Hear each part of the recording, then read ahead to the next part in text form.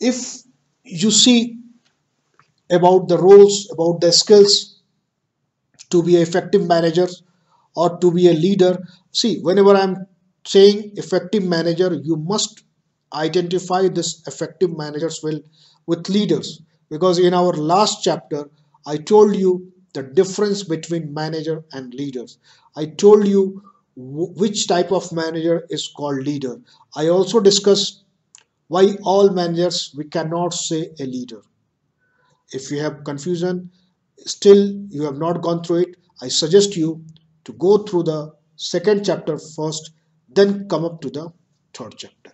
So anyhow, uh, the objective of our chapter number three is the first objective is to find out the managerial role or leadership role. Which type of role is expected from a manager? Many scientists again have done the research, come up with the different outcome. Somebody is saying this seven leadership quality or roles must be there to be a successful leader. Some are coming with the 10 some are coming with the 15 17 20 like that. Many scholars come up with the many outcome. Basically the famous one is henry mintzberg managerial rule he's saying that every leader or effective manager must have these 10 rules to be successful in his field irrespective of any industry irrespective of any type of organization. Whether it is a public sector with a private sector a small organization large organization any type of industry manufacturing services or any new technology based industry.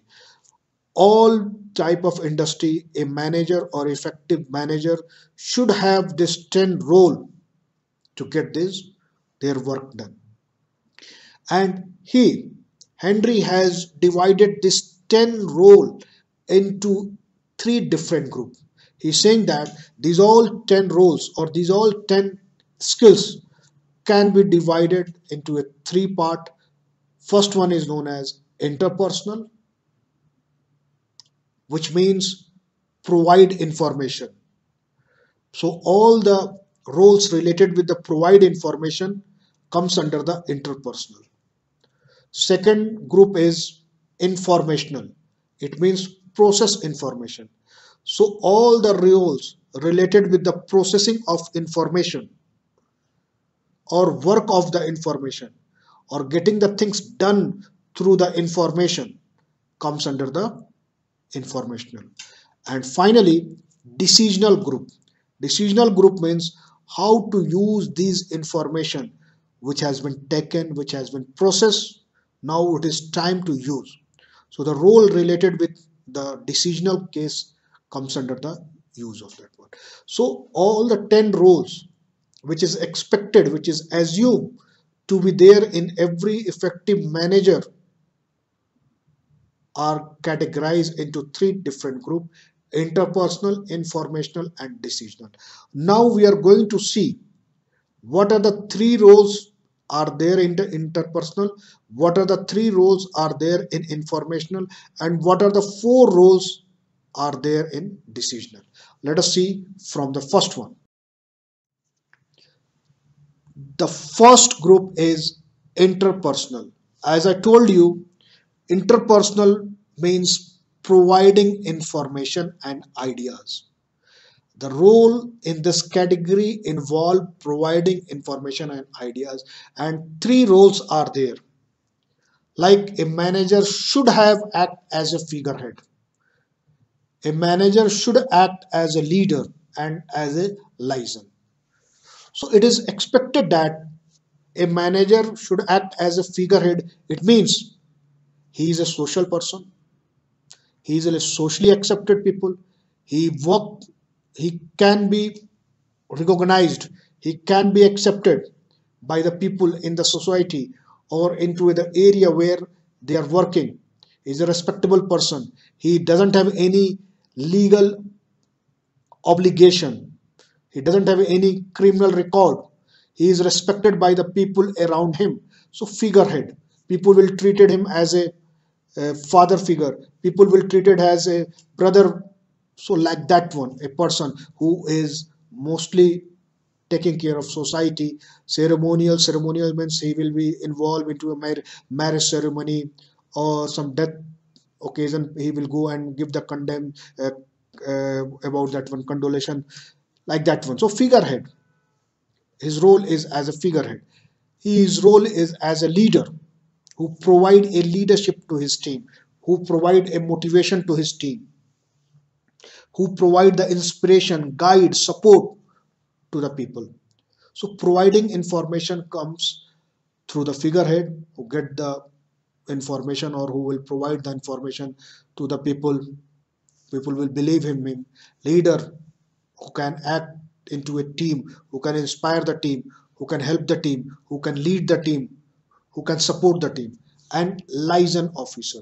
Basically it's a the things which a manager must communicate with internal and external contacts. Liaison is basically a legal term. A person must know how to provide the information or how to get and provide the information for inside entity. Maybe to the government maybe to the supplier maybe to the required body or maybe for the contract maybe for the agreement. So as a license. So these are the three main role which is expected to a leader into a category of interpersonal group. Now the second one is informational or also known as processing information. In this one, again, three roles are there. Means manager should act as a monitor, manager should act as a disseminator, and manager should act as a spokesperson. Monitor here means he has the ability and skills to scan the report, scan the information, scan the right information, scan the correct information. He has the ability to read the report. He has the ability to analyze the report. He has the ability to see the paper. He has the ability to read between the lines. So monitor, seek and receive information, scan the reports. So that is as a monitor. Disseminator. Communicate potentially useful information to your colleagues and your team. Disseminator also you can say a leadership who will forward the right information to other who have the ability to segregate the most important information than the least information least important information. He has the ability to find out which one is the current required information. Then which one is the later required information? Or which one is the least required information? Disseminator who can disseminate who can segregate relevant and correct information from the irrelevant or non-important information. And a leader should have the role of a spokesperson.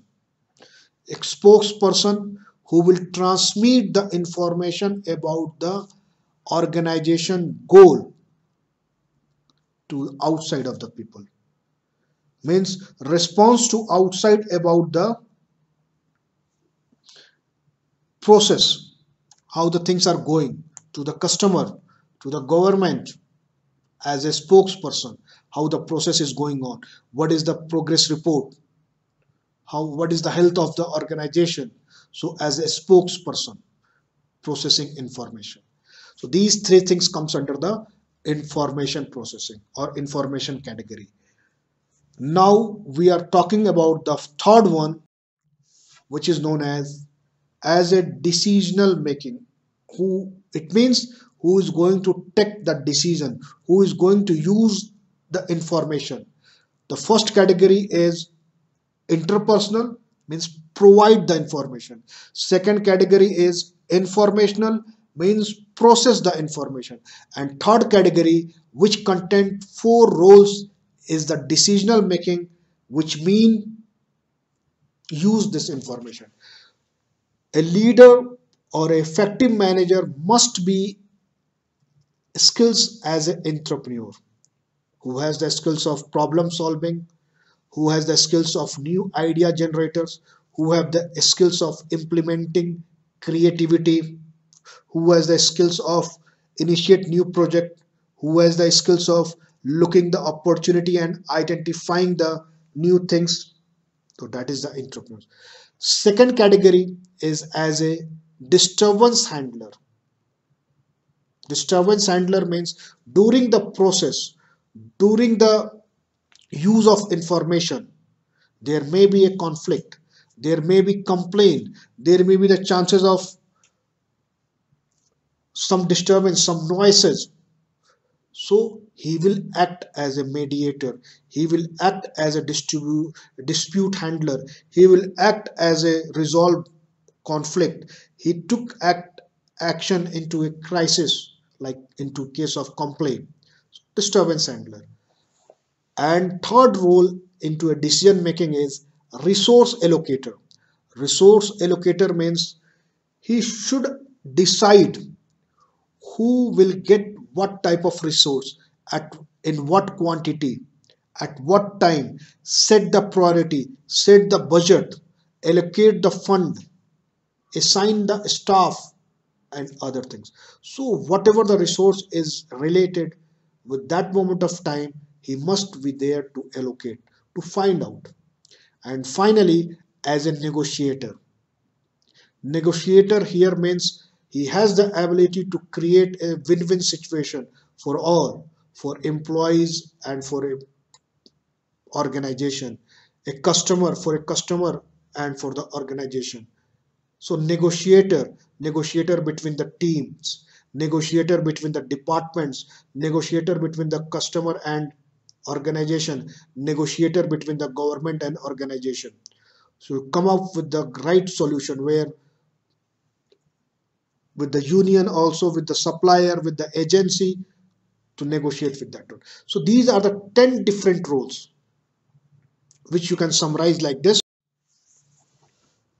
Three main group interpersonal having three roles figurehead leader and liaison. Informational group have the monitor role disseminator and a spokesperson. And as a decisional we can say as the entrepreneur disturbance handler resource allocator and negotiator. Let me repeat the things into a summary of this first objective. Like every company or every organization want his leader be a effective or his manager as an effective manager or a leader who has certain roles who has certain skills. How to identify these skills. How to develop these skills. How to be seeing that which individual have these skills so that we can select him as a future manager. So these are the 10 things. If a person has these 10 roles or if he is able to do these thing 10 things so he must be selected as a future managers or as a future leaders even for for the hr managers or hr head when they are going to select they are going to interview a manager for the organization these 10 roles must be in their mind. So when they were they are going to select a key position employee they will see that whether he has a good relationship with the society he has the ability of the leadership he has the ability of the resource handler. He has the characteristics of the disturbance handler. So like this way they are going to select the people. Now i hope managerial role is clear to everyone. So this is the first objective of today. Let us move to the second one